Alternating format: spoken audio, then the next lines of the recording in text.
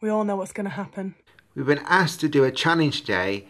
The toilet roll challenge. Everyone's doing it, so what could go wrong? 12 toilet rolls balanced one on top of the other. The challenge is that 12 toilet rolls are going to be balanced on my head. Here's my attempt at juggling with three toilet rolls. If at some point I manage to get more than three, I will be very, very happy. I've got something to help me out because I'm not very good at this. One, two. I did seven before. Let's see how many seconds I can do this for. One, two.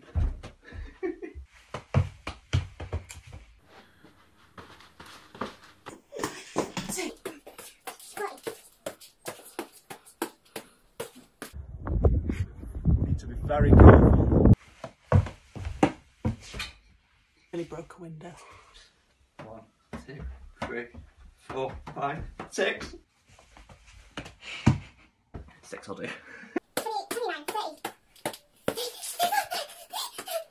Nine, 40, 41, It is quite windy, so I'm battling against the wind today. That's actually really hard.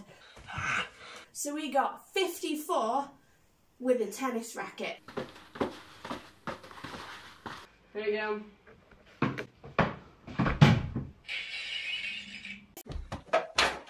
What catch? Yeah, so on my very, very first go, I got three, and I can't do any more than two after that. One, two, three, three seconds. Come on.